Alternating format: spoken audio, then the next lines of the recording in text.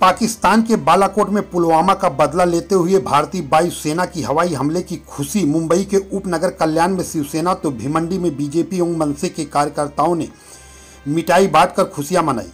पाकिस्तान मुर्दाबाद के नारे लगाए। महाराष्ट्र के थाने जिला के भिमंडी के कामत घर में भाजपा नगर सेवक नीलेश चौधरी तो कल्याण शिवाजी चौक परिसर में शिवसेना कार्यकर्ताओं ने सड़कों पर भारत माता का झंडा लेकर भारत माँ की जय। हिंदुस्तान से जो टकराएगा, मिट्टी में मिल जाएगा।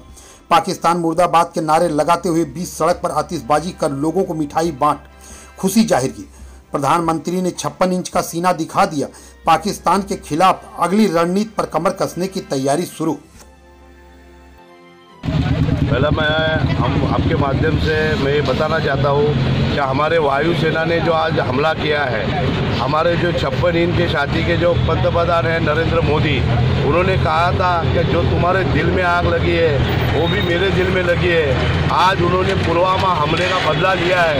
ये इकहत्तर के बाद इतना बड़ा हमला पाकिस्तान के ऊपर अगर किसने किया है तो मर्दानी हरकत हमारे पीएम मोदी ने किया है। मैं इसके लिए पीएम मोदी का मैं खास करके शुक्रिया अदा करता हूँ कि कहते हैं। कि अगर मोदी गया तो पूरा देश गया।